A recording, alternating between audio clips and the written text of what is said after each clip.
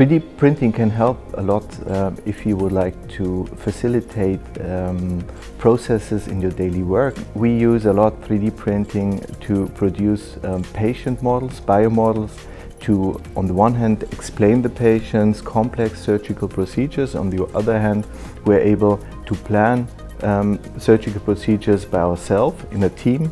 That means I, I, just need a CT scan of you and I can produce uh, exact replica, biomodel of your anatomy. And that helps us as uh, doctors um, a lot in our daily work. 3D printing is not a tool that can solve any problem, but actually it is something um, where you can get a very um, quick and easy start. I believe that 3D printing will bring a significant breakthrough in life science. So the future of life science, I believe, will be patient focused, uh, using patient's own biological material to create a solution dedicated for each individual and not uh, one fits all solution. I did also see the interest into this industry growing, more scientists working on the challenges to, to engineer artificial tissues, to bring the cell biology further.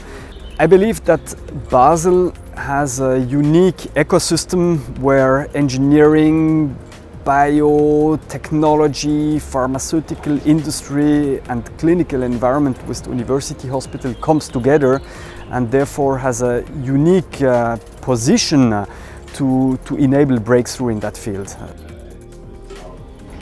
A lot of research is still needed, but I believe that bioprinting has a great potential to make a difference in, in life science. Today I would like to share that bioprinting is a very useful tool to develop in vitro models which can um, consider the very specific and complex structure of a human tissue in three dimensions. In Switzerland, many universities and schools of applied science they do already extensive work with bioprinters, which puts Switzerland in a very strong position. There are two uh, topics where 3D printing can make a difference in life science. Uh, first one is animal testing. We can reduce animal testing by 3D printing body parts on the chip.